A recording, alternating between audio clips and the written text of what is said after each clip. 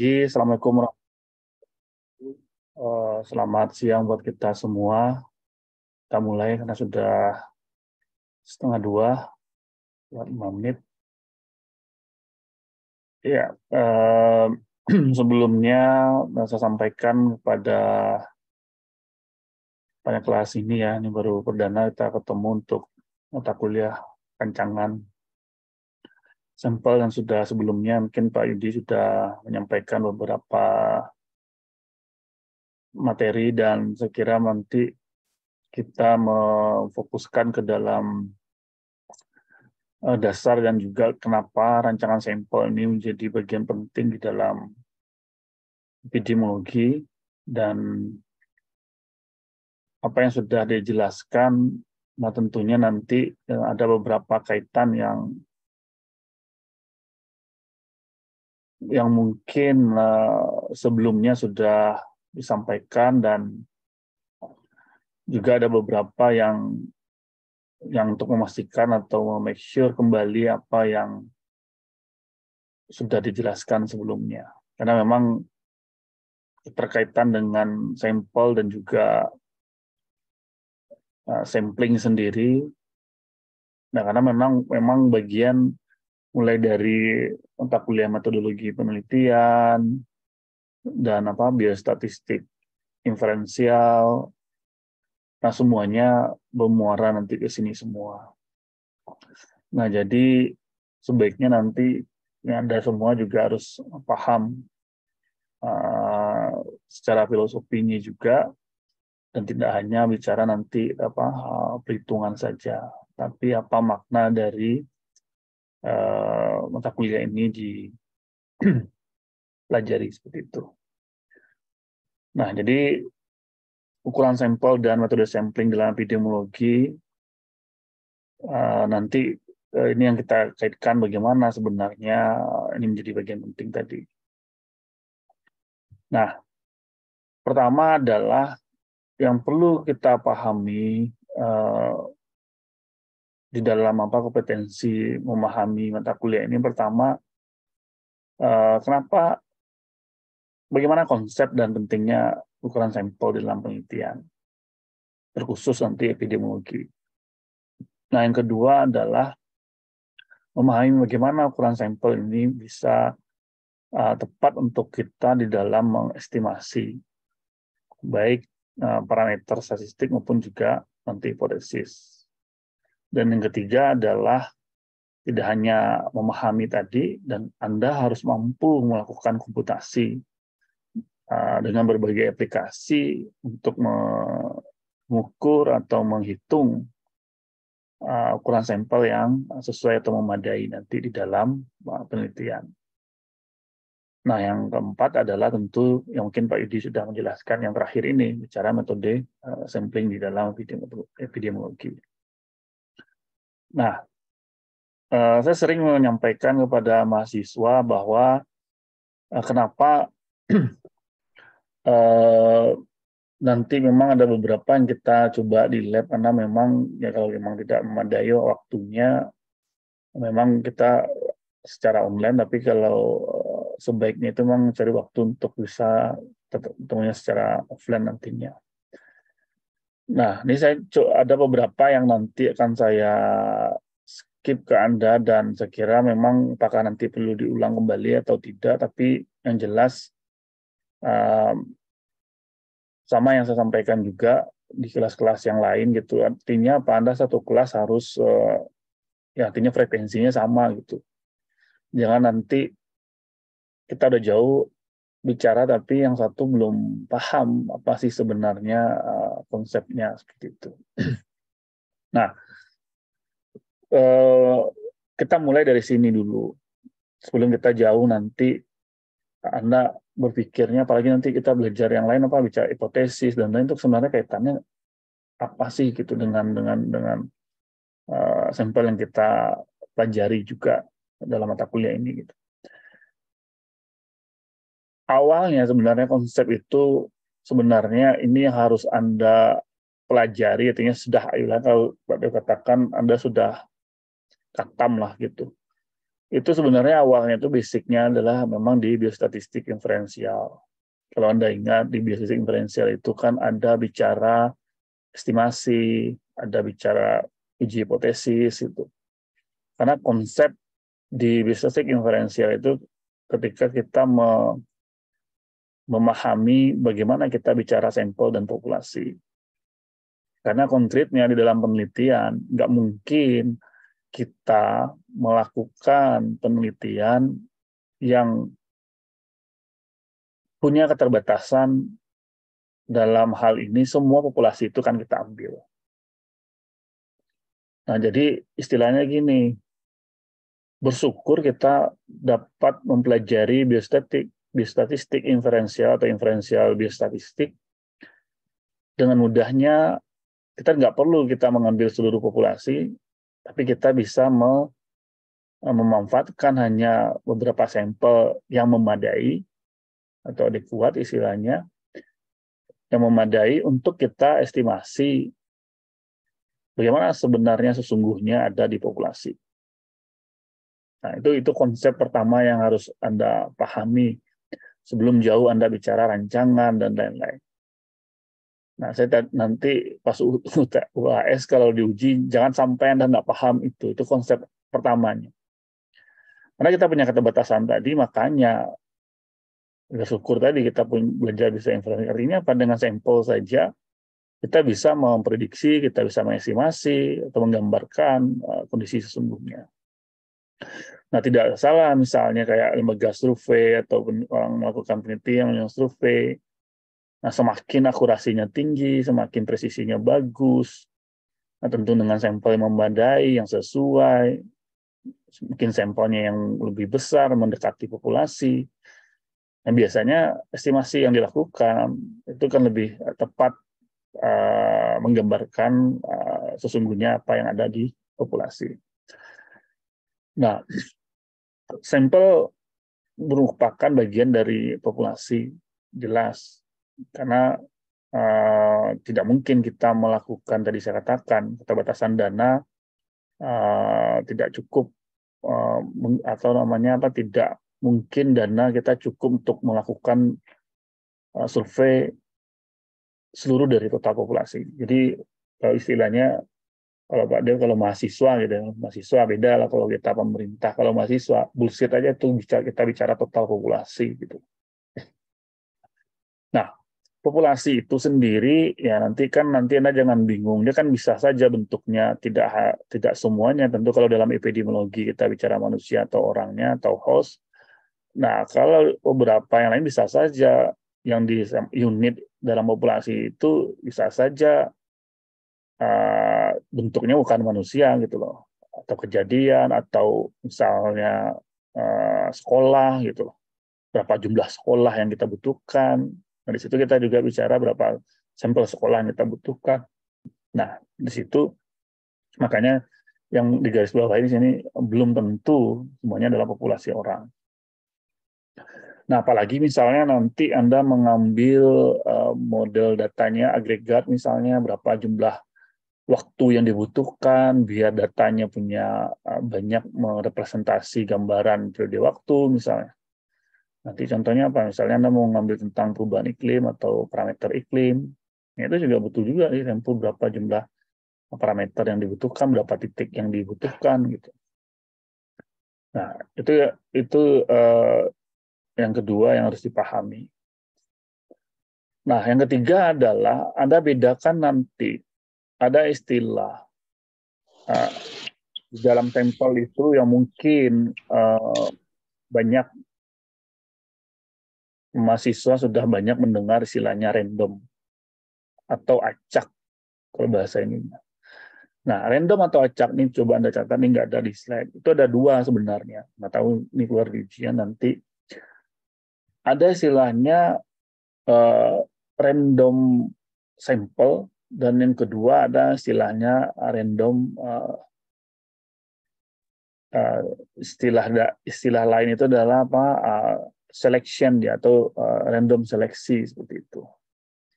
Nah, ada yang ketiga yang disebut dengan random alokasi.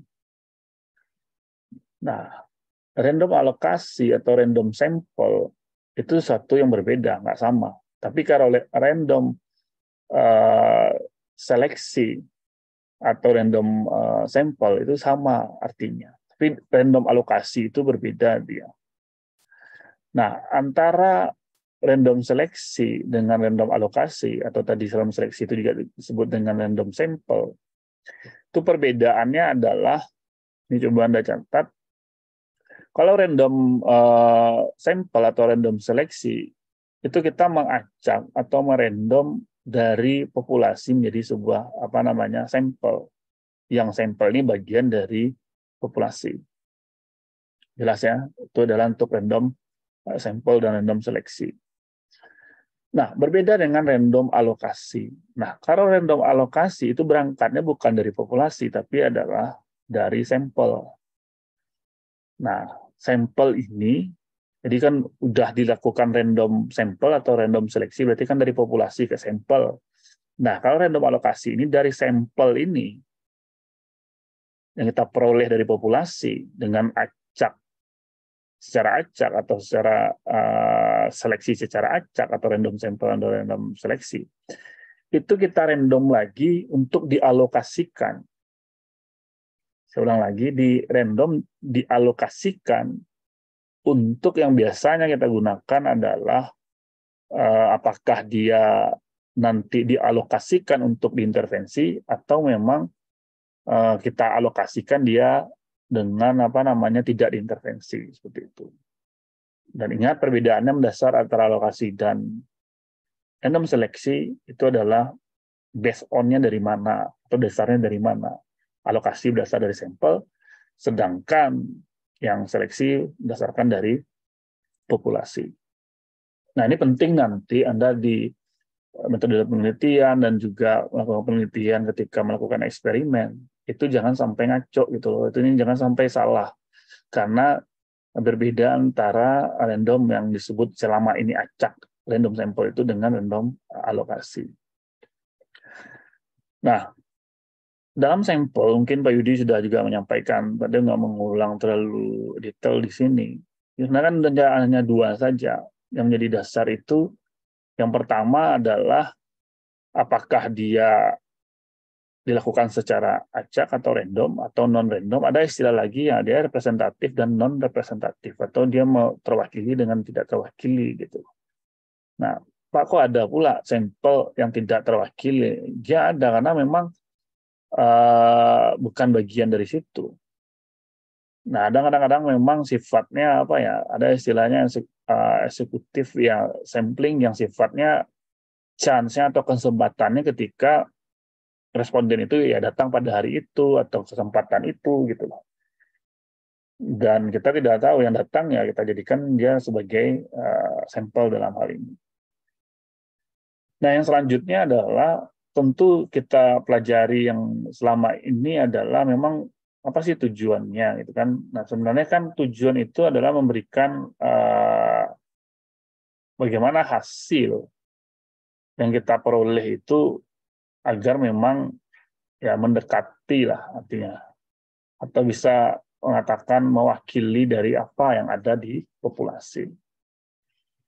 Nah, kita bicara nanti di uh, contohnya nanti di aplikasinya bagaimana. Misalnya nanti di lab kita bisa lihat di apa ya di aplikasi statistik kita bisa melihat. Jadi kalau Anda belajar ini seharusnya setidak-tidaknya nanti anda tahu hasil dalam penelitian Anda itu presisinya bagus apa tidak. Hasil riset Anda bagus apa enggak. Nah, jadi kalau dosen yang paham ini, apalagi Anda juga nanti, itu nggak pusing-pusing aja tuh melihat skripsi. Mahasiswa ngeliat outputnya udah tahu bahwa, oh ya, ini mahasiswa ini bagus dia melakukan. Oh, presisinya bagus, dan juga uh, apa namanya uh, kita lihat dan nanti parameter-parameter populasinya bisa kita uh, peroleh di situ. Nah, oke. Okay. Nah, pertanyaan yang selanjutnya adalah kenapa kita membutuhkan uh, sampel di populasi? Ya jawabannya yang tadi kita ada keterbatasan dana dan mungkin kita mengambil total populasi dan ya sumber daya juga termasuk di situ Nah, itu jawaban dari kenapa kita uh, butuh sampel itu. Dari sampel ini banyak kita mempelajari, makanya nanti uh, di pertemuan yang mungkin minggu depan kita coba dalami ya. Artinya kita punya punya apa ya? Uh, sampel itu kan bagian terkecil yang kita peroleh dari populasi dan nanti ya apa menjadi nanti target di dalam kita melakukan estimasi atau uji hipotesis. Jadi kalau dalam sampel itu cuma dua aja, ini perlu anda catat juga tuh. Butuh dua saja. Yang pertama adalah apakah kita melakukan estimasi atau yang kedua kita melakukan uji hipotesis. Maka nanti di rumus sampel dua ini kategori yang mengklasifikasikan itu apakah kita melakukan estimasi atau uji hipotesis. Nah, makanya nanti hierarki itu akan ada mulai dari apa itu studi sampel, ah, studi aktual kita atau dikatakan apa di mana sampel kita ambil dan nanti ada apa uh, sampai nanti ke populasi target kita siapa untuk kita bisa melakukan populasi eksternalnya untuk kita melakukan uh, generalisasi. Nah, itu kita bisa lihat hierarkinya nanti. Nah, tentu kita menggunakan ini kita bisa melakukan estimasi dan juga ya tadi katakan uji hipotesis di dalam uh, populasi target kita nanti ke depan. Oke. Okay. Nah, ini dia. Jadi ini mungkin pernah Anda lihat atau yang sama sekali belum, tapi kalau di metodologi penelitian ini sudah di, diajarkan biasanya karena ini terkait nanti anda mampu mendefinisikan uh, siapa menjadi ya, populasi sampel Anda atau studi sampel atau tadi saya katakan uh, studi aktualnya populasi aktual dan siapa menjadi populasi uh, target dalam hal ini gitu kan dan termasuk juga uh, nanti ke depan adalah apa menjadi uh, populasi eksternalnya. Nah, ini yang paling penting uh, kita pahami uh, apa namanya uh, ananda semua. Jadi perlu kita kita apa namanya uh, pahami definisi ini. Bentar ya. Ya.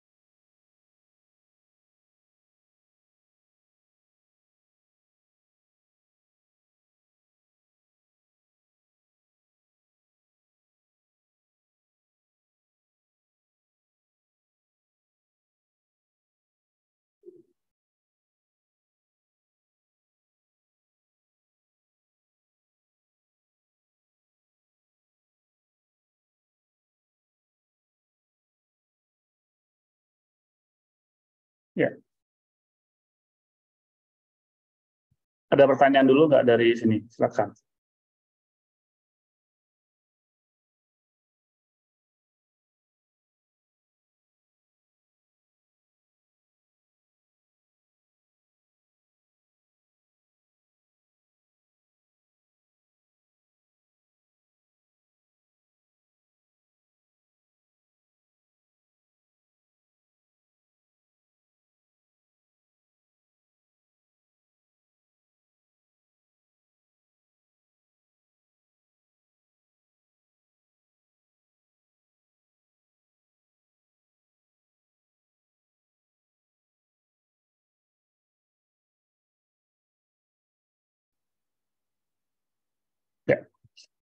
Oke, silakan kalau ada pertanyaan.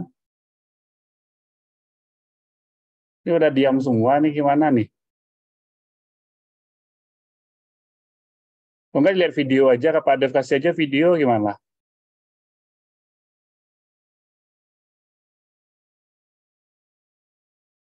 Saya kasih video aja ya. Gimana? Nggak ada suaranya satupun.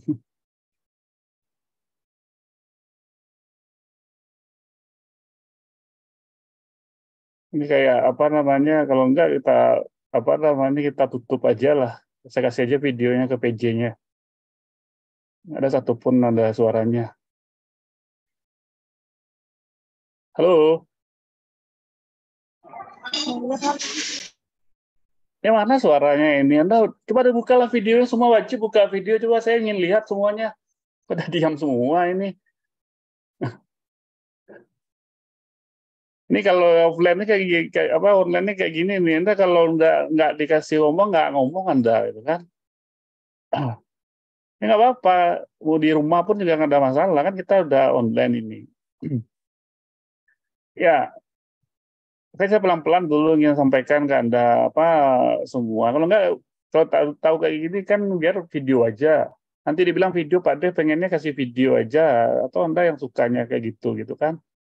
Karena memang itu keterbatasan. Kalau bisa kita tuh interaktif. Ada yang Anda tanyakan, takutnya nanti kan enggak, enggak paham. Kan kita sudah coba di di lab ya, bagaimana kita efektif gitu. Uh, apa namanya, meskipun ada beberapa pertemuan, tapi efektif uh, apa yang kita dapatkan gitu. Nah, oke. Okay. Nah, ini menurut kelihatan ini nih. Nah, coba tadi sampai jadi paham ya, hierarki ini anda harus paham ini uh, agar memang nanti tidak salah. Seharusnya kita bisa mendefinisikan uh, mana yang apa namanya uh, studi sampelnya dan uh, aktual populasinya dan studi targetnya gitu. Oke, bentar.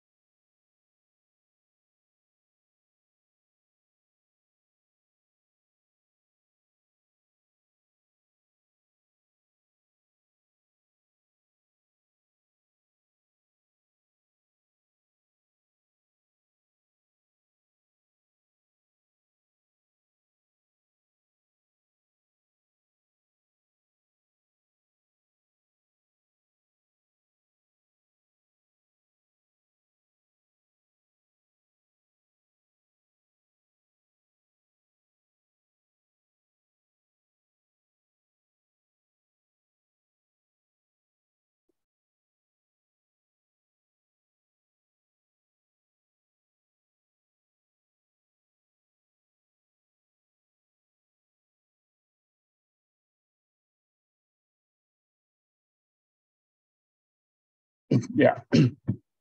Nah, selanjutnya adalah tentu nanti di dalam kita melakukan estimasi itu juga ada dua dua apa namanya yang perlu isu yang perlu kita lihat nanti ada namanya external validity dan internal uh, validity. Nah, biasanya internal validity ini lebih cenderung nanti adalah memang uh, kita bisa melihat nanti uh, bias atau isu bias itu adanya di sini. Sedangkan inferensial uh, statistik itu di sini karena memang bagaimana kita melakukan estimasi ini dan termasuk juga nanti kita melakukannya namanya generalisasi.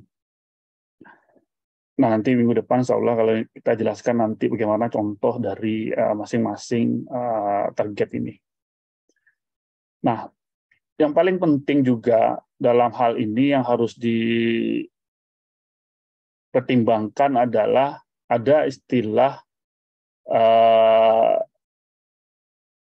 yang mungkin nanti Anda banyak kenal juga, ada namanya kerangka sampel.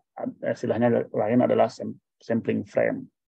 Karena kerangka sampel ini coba Anda catat, sampling frame itu atau kerangka sampel ini, ini tidak terlepas dari kalau kita bicara random. Mana ingat betul ini. Kalau bicara random atau acak, itu adalah wajib kita mempunyai kerangka sampel. Kalau nggak kita nggak tahu dari mana kerangka kita ingin merandom itu gitu, atau melakukan acak. Makanya Anda pastikan dulu Anda mau merandom di mana. Makanya nanti ada menentukan metode sampling. Ini mungkin Pak Yudi apakah sudah menyampaikan untuk menentukan metode sampling itu tergantung di mana kerangka sampel itu tersedia. Kalau dia tidak tersedia, ya kan? di situlah kadang-kadang kita nggak bisa menggunakan metode sampling yang yang misalnya contoh kita ambil simple random sampling di level provinsi nggak mungkin kita ngambil simple random sampling di provinsi sedangkan kerangka sampel itu adanya di RT atau di RW misalnya yang punya list makanya akhirnya kita menggunakan multi step random sampling bertahap dia paham ya dalam hal ini nah sama juga oh karena sampel itu adanya di SD nggak mungkin kita ngambil oh kita perlu mengklaster SD SD-nya dan nanti yang ada sampelnya kelas 3 dan kelas 4 misalnya. Nah, itu. Jadi sampling frame ini penting di mana dia berada dan nanti akan berimbas nih saya coba Anda catat berimbas terhadap metode sampling yang kita gunakan. Nah, yang kedua adalah sampel size. Nah, baru kita di dalam sampel itu ada istilahnya baru sampel size. Nah, sampel size itu barulah namanya tadi ukuran berapa sampel yang dibutuhkan, itu sampel size dia. Nah, sampel size apa makna sampel size di sini? Nah, ini saya enggak. Sampel size gunanya adalah apakah jumlah yang diperoleh atau size sampel yang diperoleh, cuma ada catat ini, memadai atau tidak diuji secara statistik. Nah, kalau Anda perhati, Anda perhatikan kalau sama Pak Dev uh, belajarnya akhirnya dalamnya apa filosofinya harus, harus mampu Anda gitu. Nggak sekedar menghitung-hitung hitung-hitung aja Anda bisa. Semua orang bisa hitung pakai aplikasi juga hitung. Tapi filosofinya ini yang harus Anda pahami gitu. Nah, saya ulang lagi. Kenapa sampel size dibutuhkan? Makanya Pak, kan saya ngambil total sampling, Pak. Kan ada pertanyaan gitu. Saya ngambilnya ke total sampling. Total sampling berarti kan semua populasi saya ambil.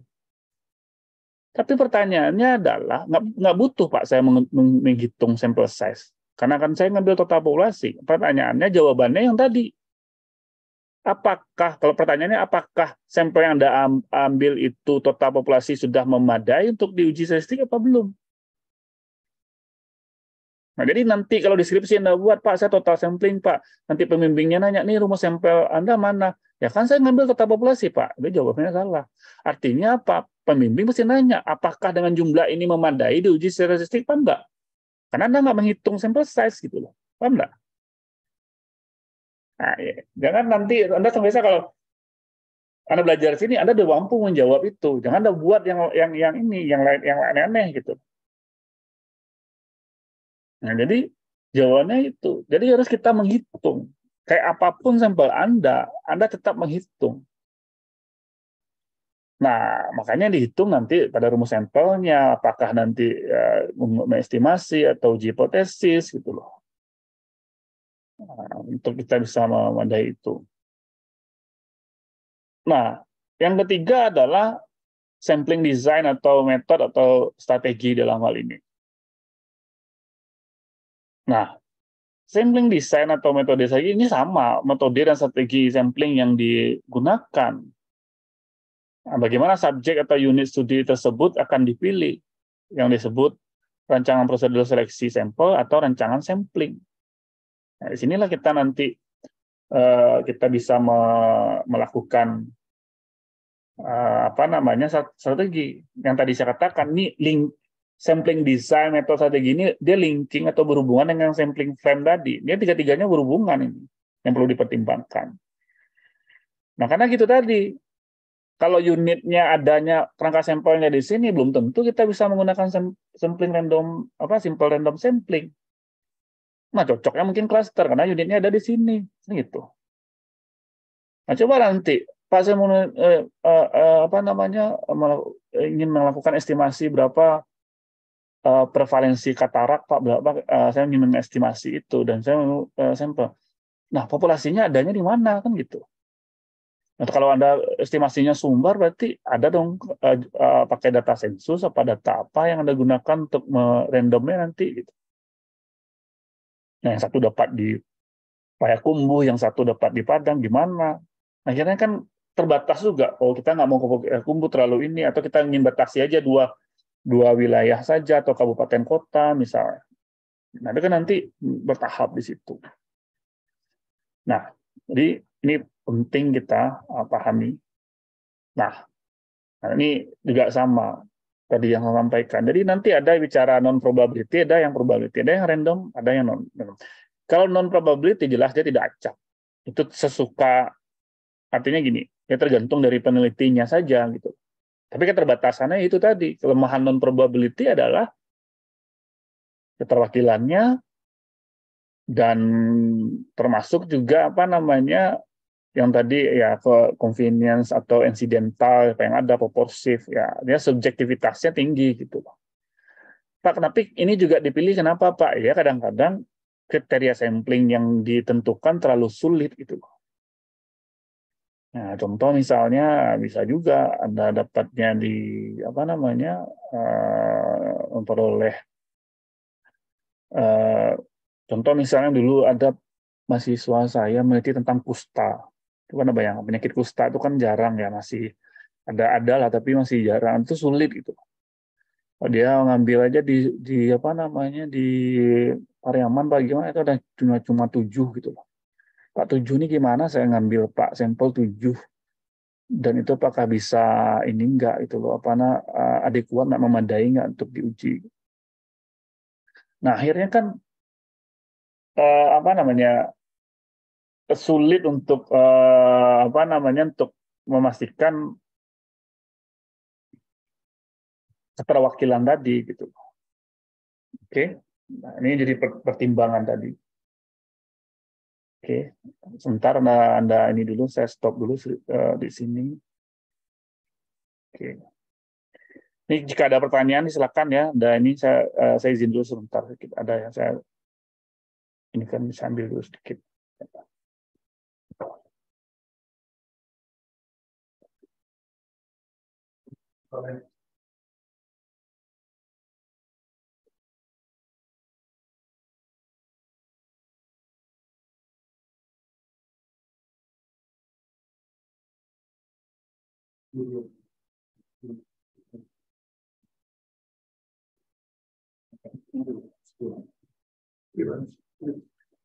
Ya.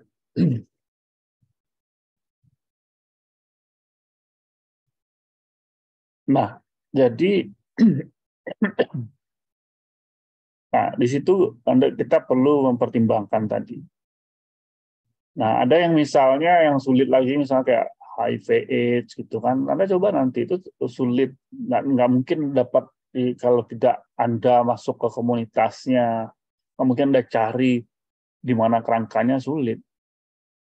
Makanya kadang-kadang ya Pak bisa nggak ada ada kadang-kadang penyakit-penyakit tertentu nggak mungkin langsung kita temukan di populasi akhirnya bisa kita ini di hospital base gitu basis rumah sakit gitu atau puskesmas ya kerja gitu itu nah, jadi itu yang jadi uh, pertimbangan kita nanti uh, di dalam ini. Nah jadi kalau nanti probability ya tentu kita butuh kerangka tadi. Mana label nanti mulutkannya dan kita bisa melakukan apa nama penomoran dan jelas gitu apalagi nanti kita ngambil sistematik ya kita mempunyai interval tertentu untuk bisa kita pertimbangkan di situ. Nah, termasuk juga uh, prosedurnya tadi. Nah, jangan nanti Anda acak itu pakai apa istilahnya? Hmm, lotre. Nah, ini ada mahasiswa sering. Bagaimana Anda me me melakukan random, Pak? Saya menggunakan lotre, Pak. Gimana tuh? Ada tuh dulu waktu ujian kan lotre kayak gimana? Ya kayak baik julo-julo pak tahu dosennya semua kayak buat julo ini gimana? Ya kita robek-robek kertas pak. Kita tulis ini nanti kita apa namanya uh, masukin ke kaleng pak. Nanti kita apa uh, kocok ke bilangan yang dia satu. Nanti yang terpilih itu itu kan udah kuno gitu loh. Makanya kan nanti pas skripsi udah buat pula model uh, lotre. Nah seharusnya kan udah ada melalui apa mengacak secara random melalui komputer atau aplikasi. Nah, itu banyak atau atau Excel juga bisa gitu kan. Nah, atau tabelnya juga bisa kita lakukan itu. Ini nanti jangan karena lihat skripsi ini akhirnya ini. Nah, terus di dalam istilah sampling juga ada apa proses pemilihan subjek dari jumlah subjek pada kelompok tertentu, ya kan?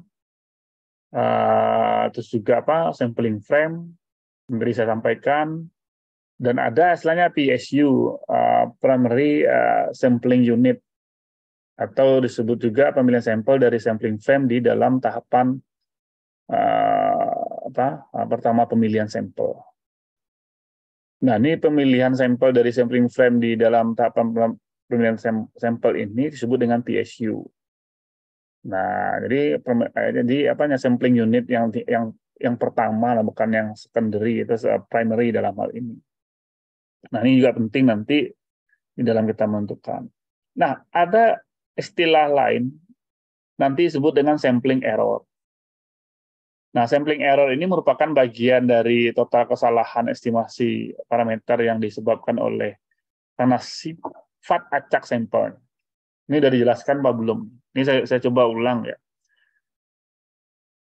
Jadi gini, Anda kalau di dalam melakukan random, apalagi nanti menggunakan tabel random misalnya, kadang-kadang kita memang harus juga pah, apa tahu di lokasi populasi itu seperti apa.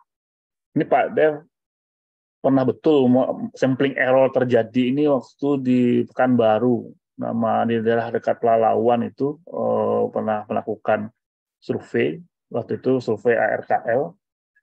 Uh, ah, di situ disampaikan bahwa ada apa namanya uh, kita sudah mendapatkan kerangka sampelnya dan didapatkan peroleh waktu itu ganjil gitu nomornya. Dan intervalnya tentu kan ganjil-ganjil juga. Kebetulan uh, intervalnya ganjil gitu kan.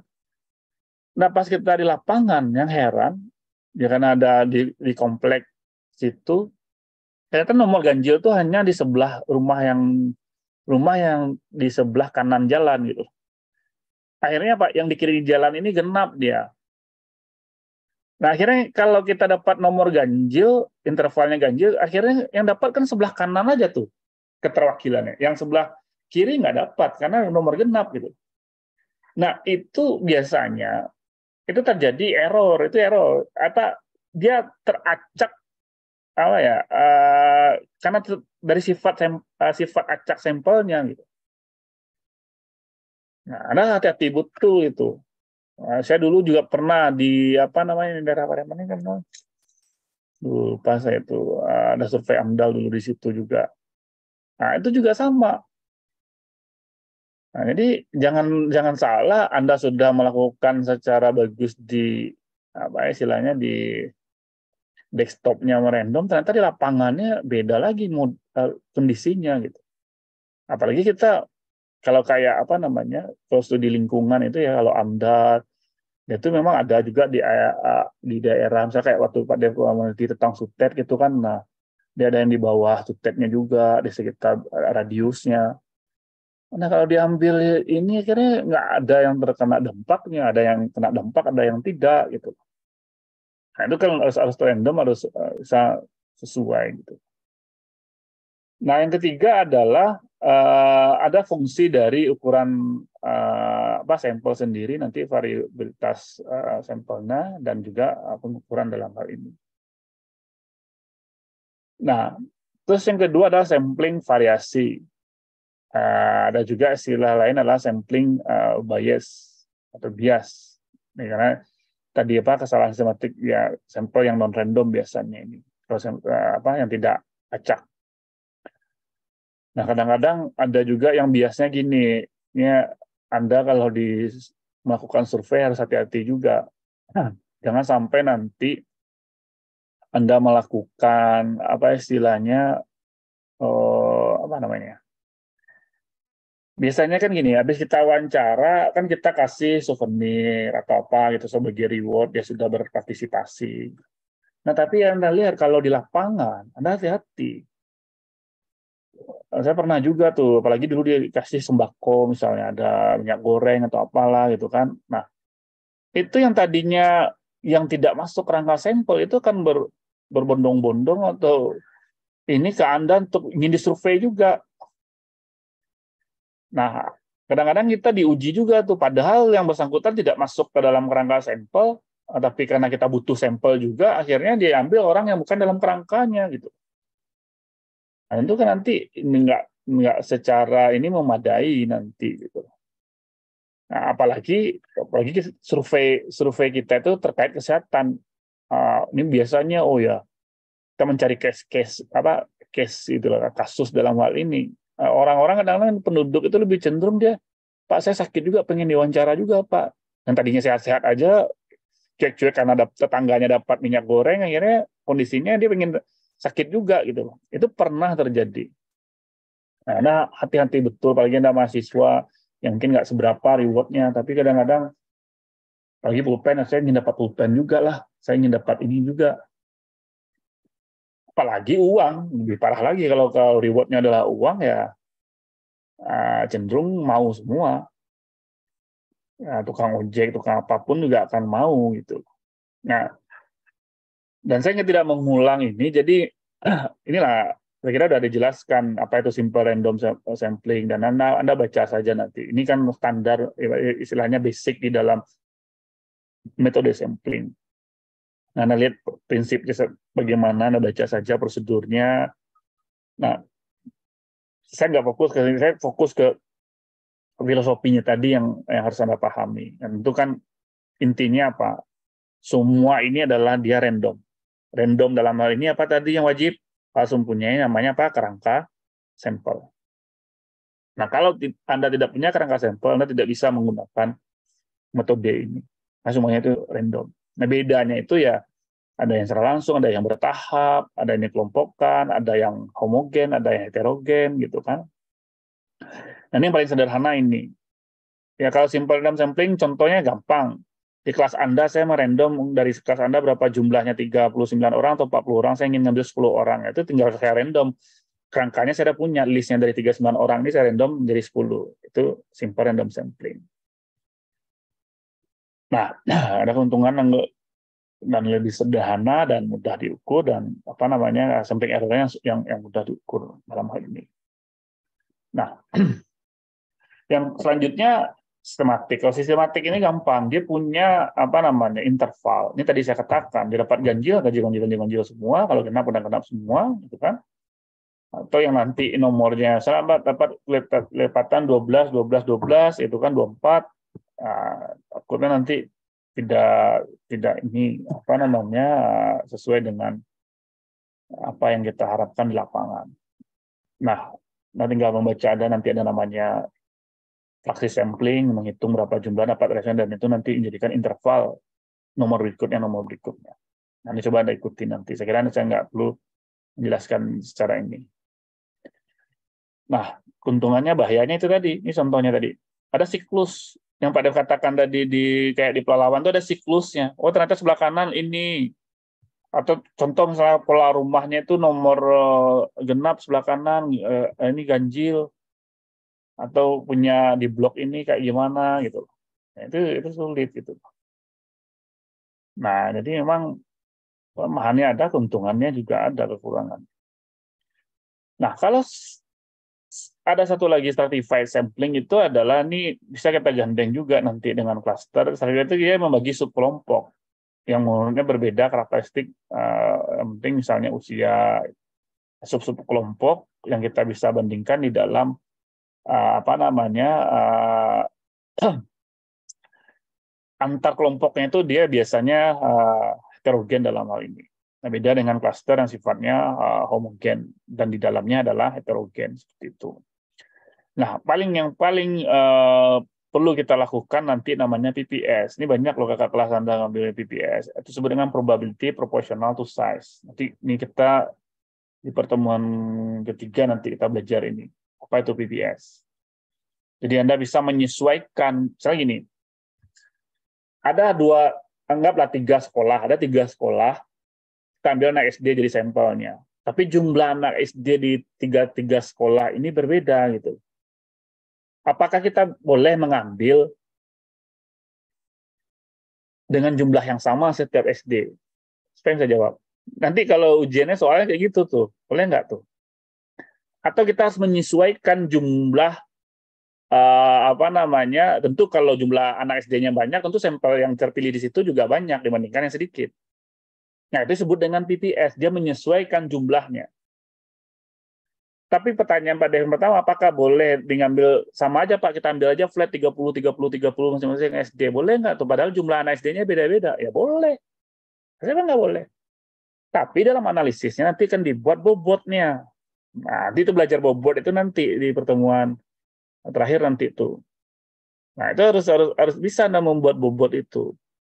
Kalau Anda ingin membuat flat aja semuanya sama. Nah, di bobot itulah kita gunakan di analisis. Jadi inter estimasinya kan berbeda. Nah, itu kan tergantung penyesuaian. Apakah Anda ingin menyesuaikan jumlah sampelnya atau Anda ingin membuat bobot di analisis. Nah, itu beratnya nanti di situ tuh. Nah, karena di analisis bisa dilakukan namanya bobot. Nah, ini contohnya. Yang tadi saya katakan, ini kalau PPS itu disesuaikan. Di sini 15, pasti nggak mungkin sampel yang yang hijau ini dia jumlahnya uh, sama dengan ini, karena disesuaikan jumlahnya gitu. Ya kan? Paham ya? Nah, bisa nggak saya ambil tiga-tiga juga di sini? Bisa, tapi tentu bobot yang di sini dengan bobotnya ini kan berbeda dia. Nah, ini dua yang tadi saya katakan. Kalau sertifikasi itu dia heterogen antar uh, apa namanya kelompoknya gitu loh. Dan homogen di dalamnya. Beda dengan cluster. Kalau cluster gimana? Antar kelompok dia heterogen di dalam kelompok apa antar kelompok dia homogen di dalam kelompok dia heterogen. Itu cluster. Oke. Okay. Kalau stratifikasi atau certified random sampling antar subkelompok dia itu heterogen, tapi di dalamnya dia homogen. Nah, itu membedakan ini, ini keuntungan dan kekurangannya. Nah, kalau di eh, apa namanya di eh, cluster, nah itu kita bisa lebih baik itu di sekolah, di kan, nah sekolahnya kan bisa apa tetap dia sekolah dan sekolah itu kan tetap sekolah yang sama homogen dia. Tapi membedakan nanti di dalam sekolah itu yang heterogen sampelnya gitu. Nah, itu kita bisa bisa coba dengan dengan cluster juga.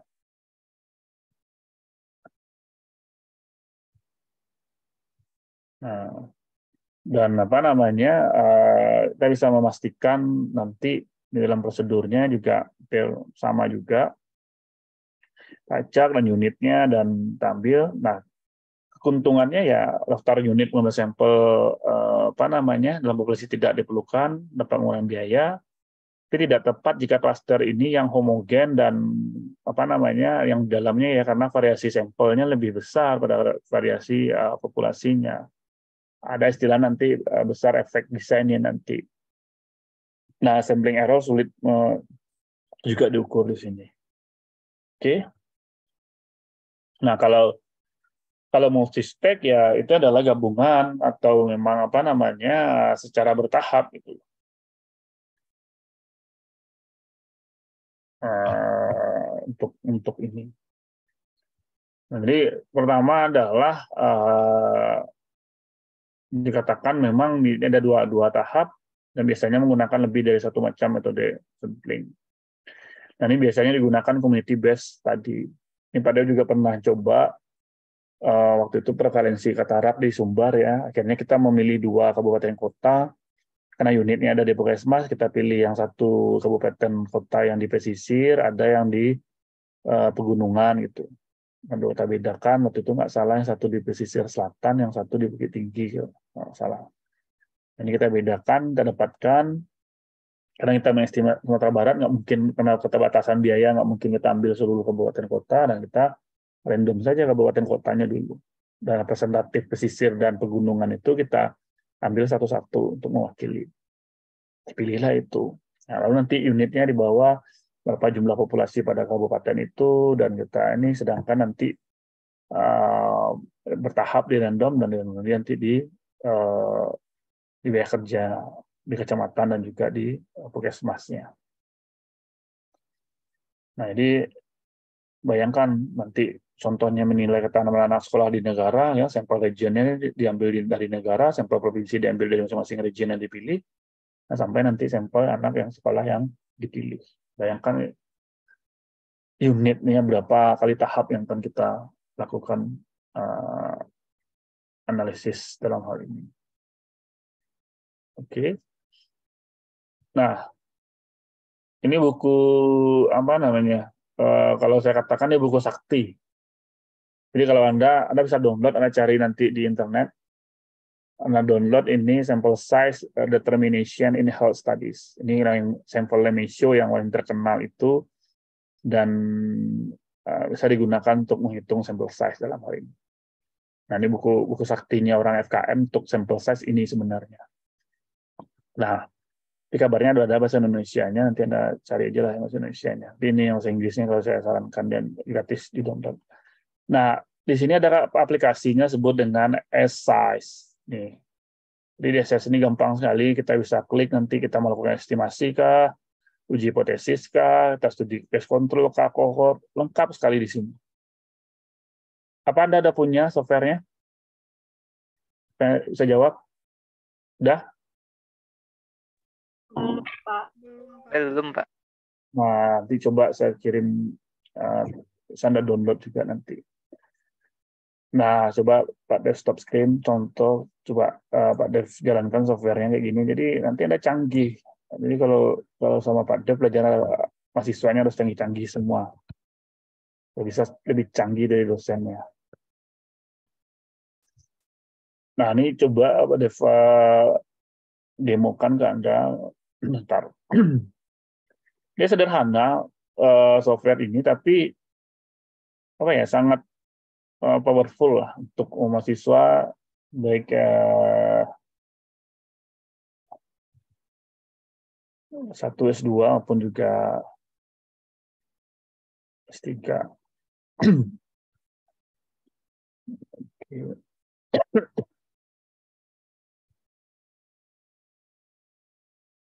Nah, tapi memang nggak di di internet saya nggak tahu apakah ini tersedia apa enggak.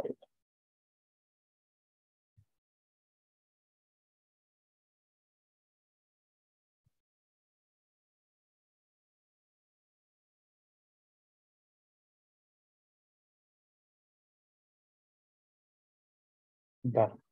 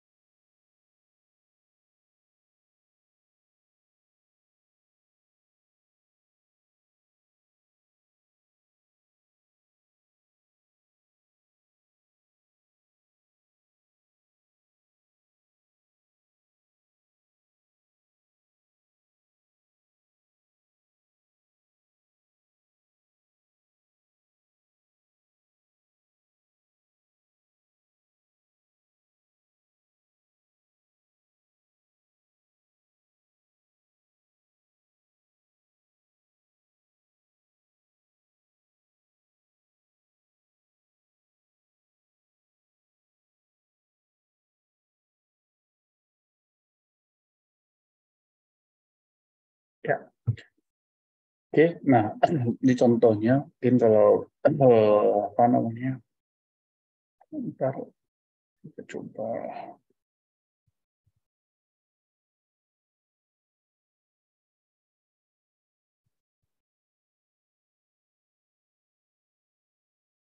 Kita coba share screen dulu.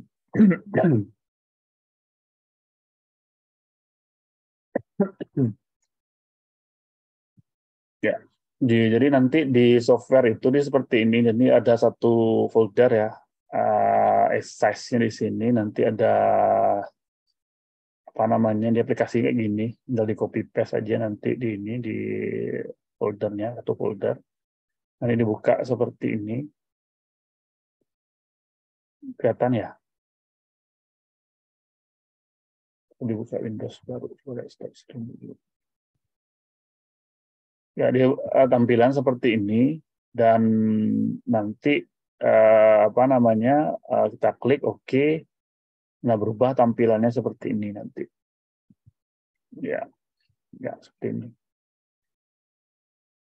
Nah, uh, dan ini bisa nanti kita lakukan apa namanya? Nih, kita pilih estimasinya. Nah, uh, contoh misalnya kita menggunakan apa absolute precision ini ya ini seperti ini dan kelihatan ya. Nah di sini kita bisa apa namanya uh, di kan gitu kan. Nah ini ada contohnya example one one one ini satu-satu. Nah ini kita bisa lihat membaca ini contoh dia mau mengestimasi dan melakukan apa estimasi populasi proporsi dengan absolute precision dan kita evaluate. Nah, seperti ini, kita klik nanti evaluate itu contohnya dan tampilannya seperti ini. Asik kan, bro? Nah, udah, udah ada rumusnya, kita tinggal masukkan. Nih, misalnya kita menggunakan 5% confidence interval kalau untuk studi populasi, kalau kalau studi apa namanya eksperimen kita bisa lakukan presisinya 99%, nanti tinggal tatik aja. Makanya saya bilang, Anda kalau untuk hitungnya itu nggak perlu pusing, software banyak gitu yang perlu anda pahami filosofinya kayak gimana, ini datangnya, ini maksudnya apa, gitu kan. Nah, ini tergantung kalau biasanya kalau di studi cross sectional anda menggunakan ini, ya, uh, dan itu kita bisa gunakan uh, 0,1. Nah, ini, ini bisa juga apa namanya? Nah, 0,05 Nah, ini juga dia ada istilahnya nanti eh, apa namanya? nih, kalau kita ambil yang standar untuk studi cross seksional itu dia 0,5 nih 0,05 385. Nah, dan apa namanya? Ini standarnya. Seharusnya cross seksional kalau Anda belum dapat referensinya proporsinya berapa untuk menentukan nilai P-nya Anda pakai 0 0,5 ini P-nya dengan uh, absolute precision yang 0,05, sampel minimum itu 385. Makanya studi cross sectional tanpa ada dasar pertimbangan minimal itu sampelnya 385.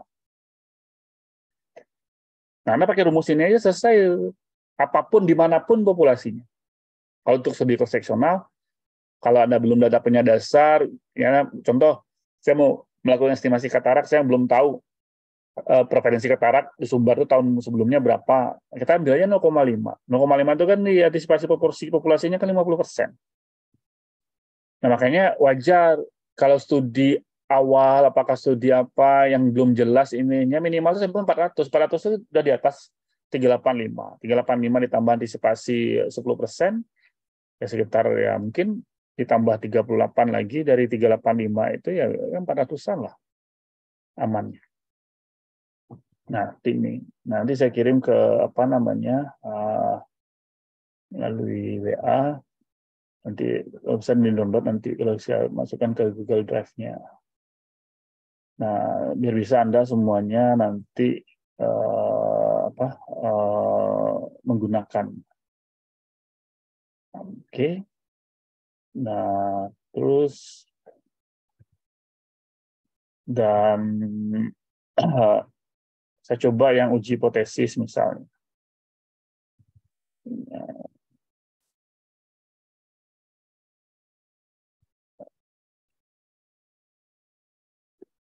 Nah, ini contoh misalnya kalau kalau kita ambil yang uji apa namanya uh, hipotesis misalnya tadi ya nanti ini lengkap dia. Nah kalau kita ambil yang mana? Yang one side juga ada. Rumusnya lengkap tadi rumusnya tidak ada di sini semua. Yang rasio juga ini. Perlu hafal. Makanya nah buku saktinya yang tadi yang Lemesio tadi yang apa? Yang tadi Pak suruh download cari di internet itu itu, uh, bukunya. Softwarenya ini. Jadi anda baca itu dan panduannya di situ semua. Oke? Okay.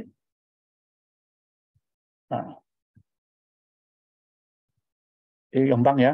Ini tidak perlu sulit-sulit untuk itu. Penting konsepnya ini harus anda pahami. Nah saya kira itu untuk pengantar dulu biar ada semangat di depannya biar apa namanya saya Pak Dew paling nggak suka kalau anda diam-diam aja, nanti diam itu dua maknanya, paham betul atau tidak tahu sama sekali. Dua aja tuh. Tapi kalau ini kan bisa ragu-ragu, kita ini kan Oke, ada pertanyaan nggak sebelum kita tutup? Nanti saya kirim bahannya ke PJ dan termasuk juga software yang mudah-mudahan bisa ini. Dan dia jalannya hanya bisa di Windows. Oke, ada pertanyaan? Izin bertanya, Pak. Ya, Hasan. Uh, tadi kan ada sampling bias. Tadi ya. uh, tadi katanya itu tuh kayak error dalam non probability sampling. Tapi kalau di uh, probab di di random sampling ada sampling biasnya nggak Pak? Atau yang sampling error tadi aja Pak? Di, kalau kalau di apa namanya eh, sampling bias itu kan ya biasnya itu salah satunya itu ya karena sifat acak samplingnya ya kan nah, sedangkan kalau di dalam yang non probability ya artinya yang sifatnya tidak random ya kadang-kadang ya biasnya lebih besar lagi. Contoh kalau disebutkan bias seleksi misal bayangkan kalau kita itu pada di Thailand pernah coba kita inginnya eh, perempuan tapi dapatnya bencong gitu kan ah, atau apa lady boy kalau di Thailand itu lebih parah lagi tuh selection bias dalam hal ini itu bias seleksi. Ah, dalam kita ngambil sampel itu lebih parah gitu. Bukan orang yang tepat. Nah ada juga mahasiswa misalnya dia eh, apa istilahnya kondisi uh, misalnya gini, dia ingin usia produktif misalnya, atau misalnya contoh yang belum menikah misalnya, atau yang lebih kalau yang tanda produksi yang lebih katakan ya kan sulit juga tuh kalau memantau uh, yang usia produktif umur sekian umur sekian. Gitu.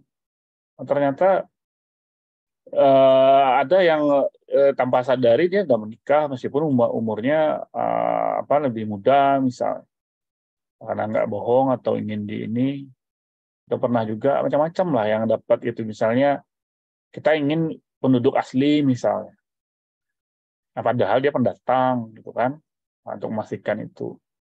Nah itu tergantung dari kriteria-kriteria yang kita buat nanti di dalam uh, siapa subjek dalam sampling kita gitu.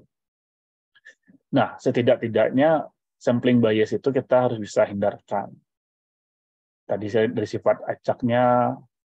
Terus ada dia nanti uh, mungkin minggu depan lah pada jelaskan ada bias tuh banyak sekali ininya. Detail-detailnya dan ada yang tadi sifat ada contoh misalnya gini ada parah di rumah sakit misalnya.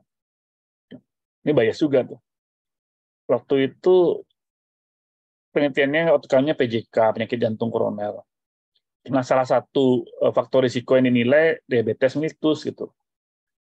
Nah, mahasiswa ini tanpa sadar, tentu kan ada variabel independennya DM, DBTS mellitus. Tanpa sadar, ternyata yang waktu itu dia di, di rumah sakit itu mengambil pada hari Kamis gitu. Dia menjamin waktu itu. Nah dia nggak saat yang heran kami gini pas waktu hasilnya itu kok de, uh, orang yang PJK status DM-nya 100%, jadi nggak ada yang tidak diabetes mellitus. Kami kan heran juga. Gitu. Jadi di tabel dua kali duanya itu hanya satu row saja tuh diabetes mellitus saja tuh 100%. Dan ternyata baru disadari, ternyata Pak mohon maaf Pak, waktu itu kenapa DM semua? Karena waktu itu saya rekami ternyata tuh pa, pa, pa, apa, uh, pasiennya pak rawat jalan DM semua. Makanya pas saya tanya apakah bapak ibu uh, diabetes ini jawabannya iya semua. Nah itu kan sudah ter uh, homogen udah apa memperoleh nilai homogen gitu loh. Udah ter, udah teracak secara uh, random pas hari itu nah seharusnya dia tukar-tukar nggak hari Kamis saja gitu bisa hari Rabu hari ini yang nggak pasien DM gitu Nah, itu contohnya kalau kita nggak paham di lapangannya, nggak ngerti juga itu sulit. Gitu. Nah, jadi memang perlu dipertimbangkan eh, nanti melihat uh, bias-bias ini atau dia teracak nggak secara ini. Nah, terus ada juga yang menarik waktu itu di daerah mana ya? Ada ada variabelnya pekerjaan. Pekerjaan ini udah dibuat nih ada nelayan, ada PNS, ada ini, ada macam-macam lah. Ada kriterianya tujuh pekerjaan di situ, swasta, berdagang. Yang lebih parah adalah yang nggak tahu karena memang dia di kampung nelayan, apa pekerjaannya nelayan semua, jadi kan heterogen, apa homogen semua gitu. Akhirnya skripsinya berubah, ini studi pada nelayan akhirnya gitu. Karena apa? Respondennya nelayan semua pekerjaannya. Itu mahasiswa juga karena itu tadi makanya nggak salah dosen menyarankan seharusnya studi awal dulu lah sampelnya 30 dulu. Lihat ini minimal sambil menguji instrumen kita nih ada variasinya nggak? Gitu. Nah, sekaligus mengkoreksi nanti ada kriteria-kriteria variabel itu yang benar-benar heterogen nanti. Namanya variabel kan ada variasi nah itu kadang-kadang salah karena kita samplingnya salah cara uh, penempatan. Itu yang paling parah kalau nanti Anda ujian skripsi mengulang itu ya bias seleksi itu salah salah orang gitu loh. Bayangkan kalau salah orang ya ulang lagi gitu. Itu yang yang yang parah gitu. Itu di Thailand kayak gitu juga. Makanya kalau di Thailand instrumennya eh, kalau jenis kelamin itu tiga itu laki perempuan lady boy. Lady boy ini termasuk jenis kelamin yang khusus juga. Karena itu juga kalau kita masuk kriteria itu nanti ditabulasikan juga, kalau nggak dieksklud sama sekali gitu. Nah, memang seperti itu. Oke, ada lagi pertanyaan? Nah, kalau tidak, uh, ya mudah-mudahan minggu depan itu Selasa. Ya mungkin kalau kalau bisa hari Selasa coba kita cek dulu lah jadwalnya. Apakah Selasa siang atau ini. Untuk bisa nanti di lab. Kalau tidak terpaksa online lagi nanti ini. Oke, kalau tidak kita cukupkan dan nanti eh, videonya kita share termasuk juga software tolong diingatkan saja nanti kalau belum eh, mudah-mudahan bermanfaat untuk apa namanya pengantar awal ini untuk bicara sampai setelah UTS ini. Oke, terima kasih atas perhatiannya. Saya sudahi. Assalamualaikum warahmatullahi wabarakatuh. Waalaikumsalam. Terima kasih, Pak. Terima kasih banyak, Pak.